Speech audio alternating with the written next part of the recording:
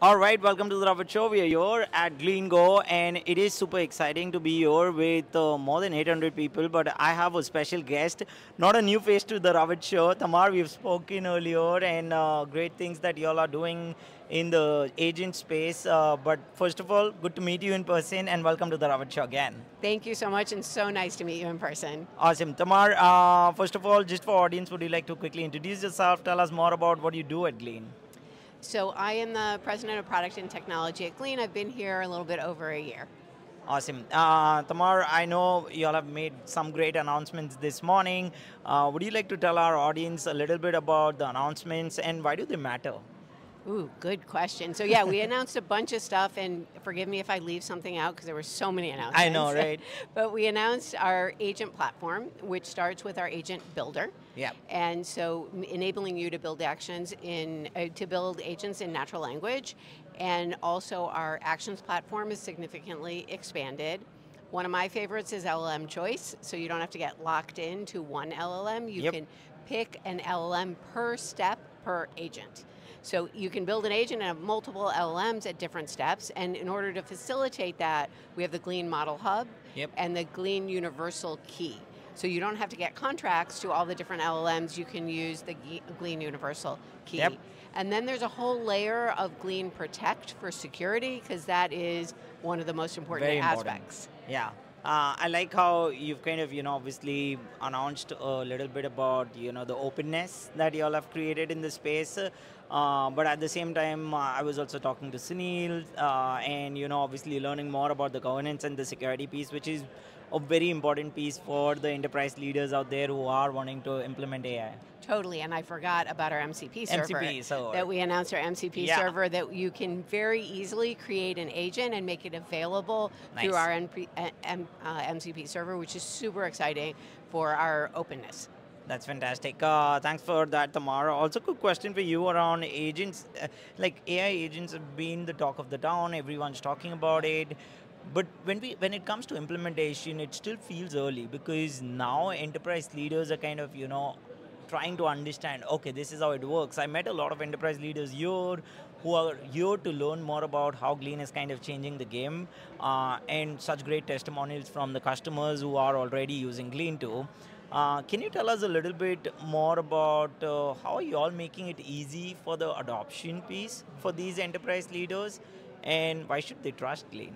Why should they trust Glean? So you're, you're absolutely right that some enterprises are slow to adopt because it's Yep. scary. You're going to be putting these agents into production that take action on behalf of employees. Right. Are they secure? What are they doing? Another thing I forgot to mention is observability. Observability. The, true. one of the biggest questions that we get from customers is how do I know that this is actually working? I think that's a big stumbling block. So we have to get we have to get uh, enterprises to trust us on many levels. First, to trust us to give them uh, to give us their data. Yep. Then to trust that we will safeguard it, and that when you're building agents, that they're going to work as intended, and that we're not, and that against prompt injection, and let's say you built an agent and I use it, now you go and nefariously change it. Well, we have to make sure that that can't hurt me. Exactly. So these are things that we're um, protecting with Glean Protect. Nice. So, and you asked before, why does it matter, all the things that we launch? It matters because it will enable corporations to use AI more effectively and to increase productivity both on the personal side and the Yep. business processes.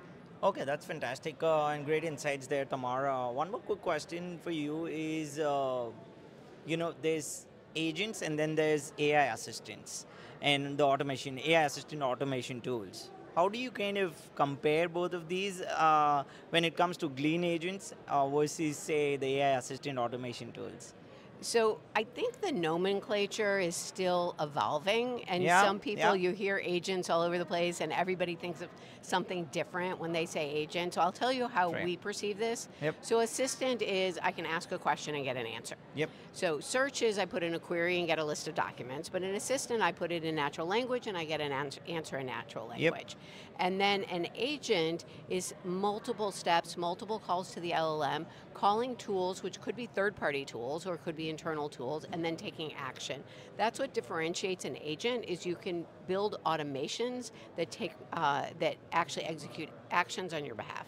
Yeah, I think that is something pretty important as well for those who are, you know, working with agents uh, in the space. And uh, I know for a fact you all, uh, you know, you did show some demos there as well. And I'm kind of, you know, excited to use Glean agents to be honest, because uh, I was getting on the press day, I was kind of getting an overview on the different activities that uh, everyone can do, each department. Even and for marketing, it could play a very important role. For us in media, where if we are doing this interview and if I can get all the key points out of it, and even ask the agent to go out and post, it can be like so easy, right? Yeah, you could have helped prep by say, go look up all the information about Tamar, all the previous interviews I've had Right. with her. What should I ask her? And it can come up with something really compelling. Yeah. Your job became a lot easier. Uh, you're right. You're so right about it. Uh, I, I, I could have asked what, what difficult questions I can ask Tamar, but then I know there's no difficult question. Whenever I do this, these interviews with you, I always love asking you.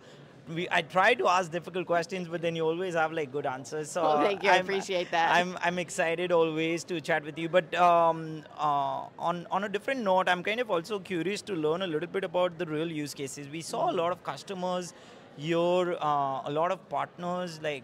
Uh, you know, obviously the CEO of Palo Alto, Nikesh was here, and uh, the great partnership that you all have, Yep. and Booking.com. I was talking to the team, uh, the Time uh, magazine.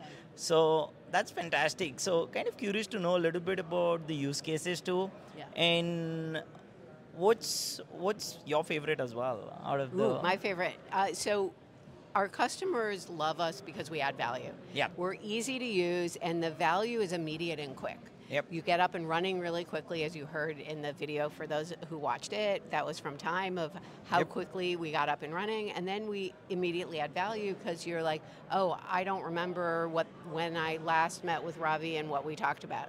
So it's very easy to get that immediate value, and then you build from there. Yep. So we're seeing people, customers build all kinds of agents, whether it's to get research insights or help with the sale, close the sales cycle, or do uh, PR reviews for engineers. What is my favorite? Well, my favorite are things that make my job easier. right?